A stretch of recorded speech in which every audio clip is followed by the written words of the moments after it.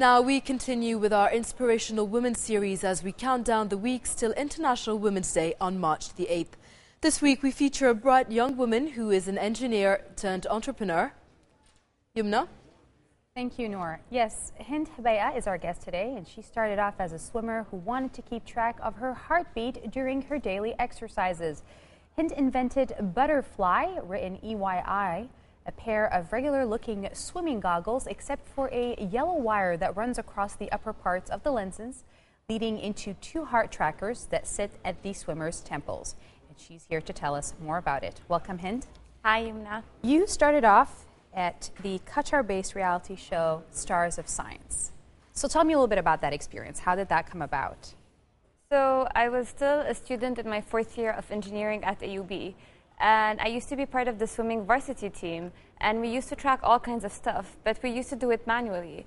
And I used to think it's pretty backwards, especially that I knew that there were devices out there for runners and bikers. And so I looked around and couldn't find anything. And at that same time, I saw the ads for the Stars of Science competition. And I thought, why not apply with my idea for a heart rate monitor for swimmers? And so I did, and I got selected. And it was very unplanned because I had to petition a lot to be able to carry out my university studies and to be able to go to Doha and to take part. So you, you took part in the Stars of Sciences at the same time while continuing your studies? Yes, I was in my last semester. How did the Stars of Sciences competition go?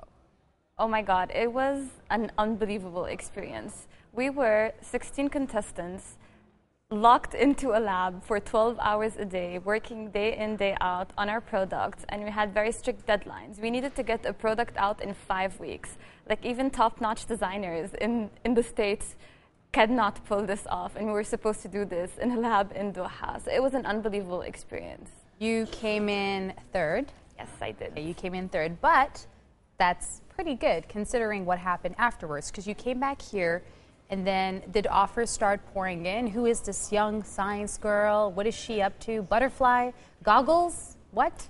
How did this work? So I came back to Lebanon with with $100,000 and a prototype that was working. And so the, I the third prize was $100,000? Yes. Okay, that's, that's not so bad. That, that, yeah, that's pretty cool, I must say. So I came back to Lebanon, and I was pretty confused back then. I had just graduated graduated from university, and I wasn't sure what to do, and I was getting all these calls. But the most interesting call for me was Berytech because they were offering funding, and I thought that it was a great idea. Why not get funding and support from people who have done this, who who know the entrepreneurship road inside out, and who can guide me throughout my journey. And so a year later, uh, we signed a contract, and so I was able to quit my job. I was working at Dar al Handasa back then. I was able to quit my job and work full time on the project ever since. There was a, I read this in a newspaper that for a month and a half you were the only female finalist, and some of your peers refused to talk to you while you were on set because they believed that a woman had no place among inventors. So clarify that. Is that true? Is it not true?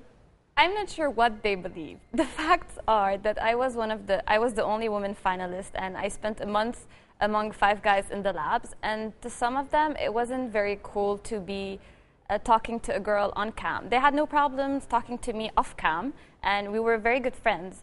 But when it came to the camera, I used to come up to them and like ask them questions, and some of them didn't answer. And I used to feel like really small, but I had to get used to it, so I did.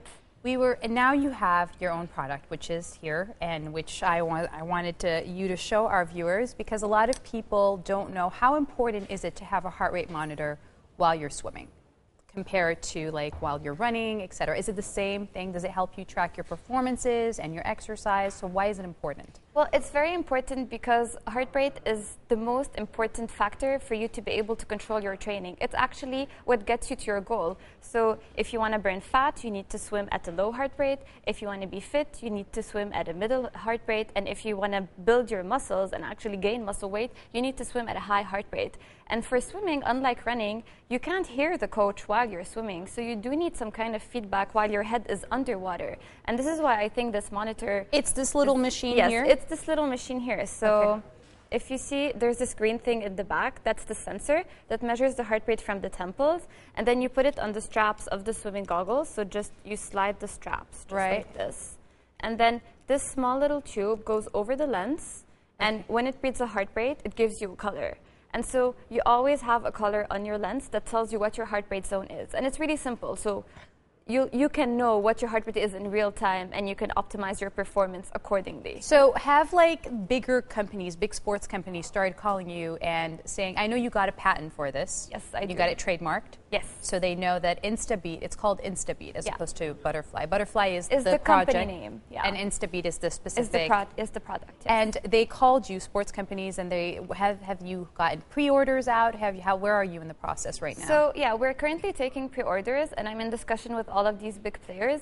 Uh, nothing I can disclose yet. Okay. But uh, we're working. I mean, the direction is the same. We're working on getting the product out, and we want swimmers to give us their feedback. And so this is the direction I'm working on. Did you ever, while you're in a process, thinking to yourself, I'm going to invent a heart rate monitor for swimmers, did you ever think this might not work? Were there people maybe discouraging you through it? Because it's a little bit, you know, how come nobody's ever thought about this before? You know, I ask myself the same question every single day because it's such a trivial idea and such a big need for swimmers. And of course, I got lots of people telling me, who needs a heart rate monitor while they're swimming? Or who do you think you are for trying to pull this off out of Lebanon? They obviously don't watch the Olympics, right? So That's my first Yeah, comment. My second comment is that I'm happy doing what I do. I'm very passionate about this, and I have the bex- best experts surrounding me. And so I'm giving myself the best odds. If it works, then that's amazing. But if it doesn't, then I would have tried something different and new. So that's my perspective in this whole thing. you've tried it and it works. Have you? Because you're a swimmer yourself. Oh, so yeah. So I, I swim with this a lot of times.